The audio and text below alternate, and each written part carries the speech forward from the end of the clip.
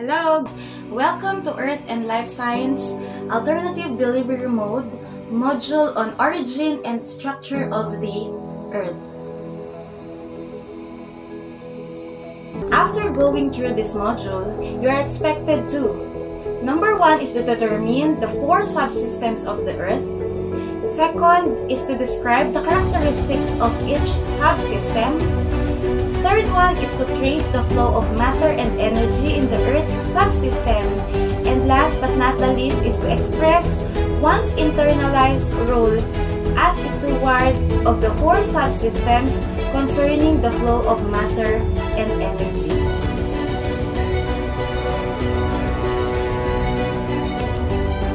And the learning competency covered in this module is to explain that the Earth consists of four subsystems across whose boundaries matter and energy flow. Before we proceed to our lesson, let us have first this activity number one. So in this activity, I will read a statement. So all you have to do is to list down the terms that are used in the statement that reflects to what made up the earth and categorize them based on the following. So we have here um, the first column is for air, the second column is for water, the third column is for land, and the fourth column is with life or things with life. So this is for our activity number one.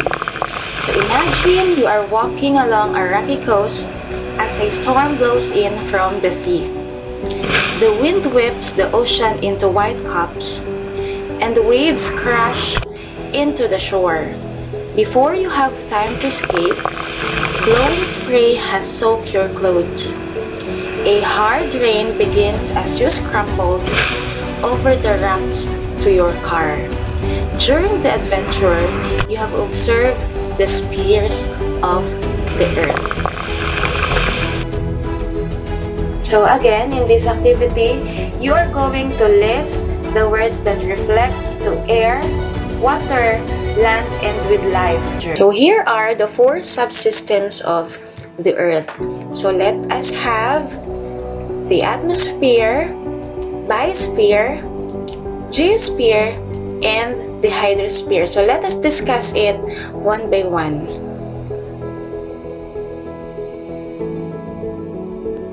So before discussing the four subsystems, let us have this quotation.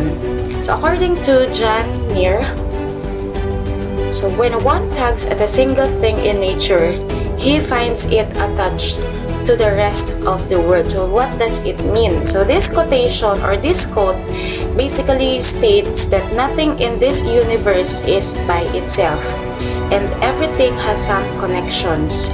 In a more simple term, it means that as a human, you are never alone and you have family and friends somewhere in the world. And just like the quotation of John Muir, our four subsystems or Earth's subsystem are interconnected or interrelated with each other. So let's proceed to our first subsystem.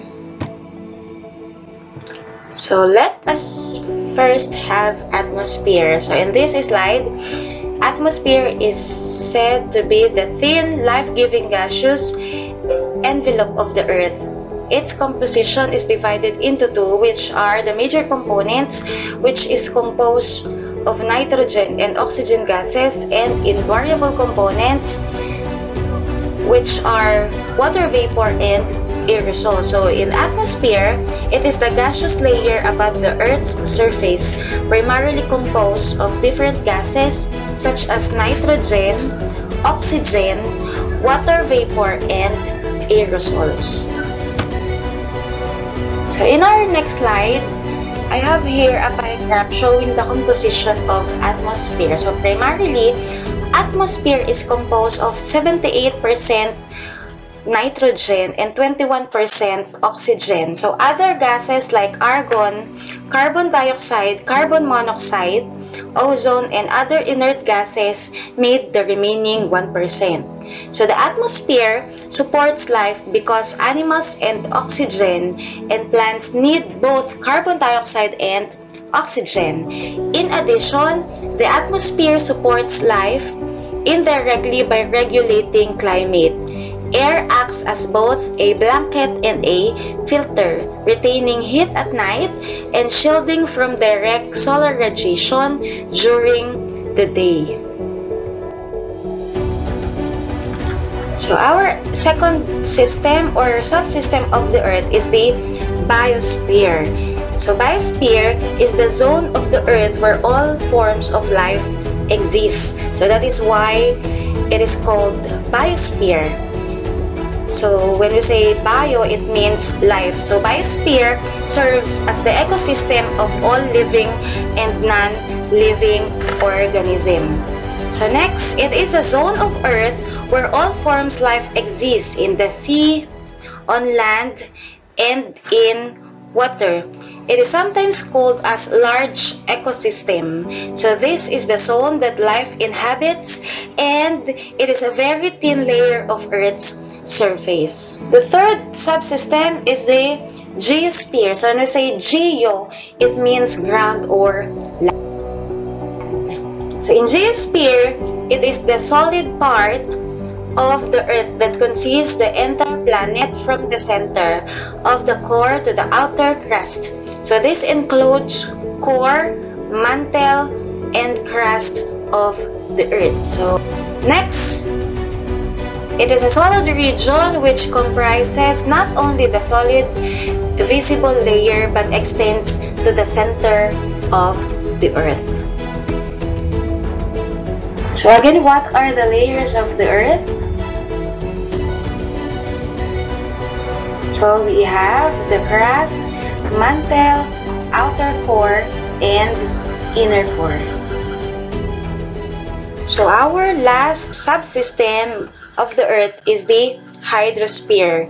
Hydrosphere is the water part of the Earth that includes oceans and glaciers. So Earth is called blue planet or blue marble because of its water component. So water in Earth is unique because it naturally exists in phases.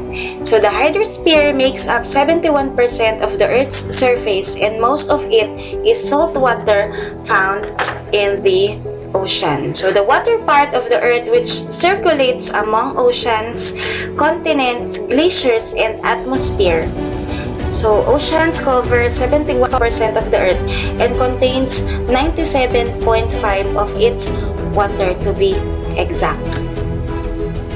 And those are the four subsystems or four components of the earth. So again, we have the biosphere, hydrosphere, geosphere, and atmosphere. So that ends our discussion for today.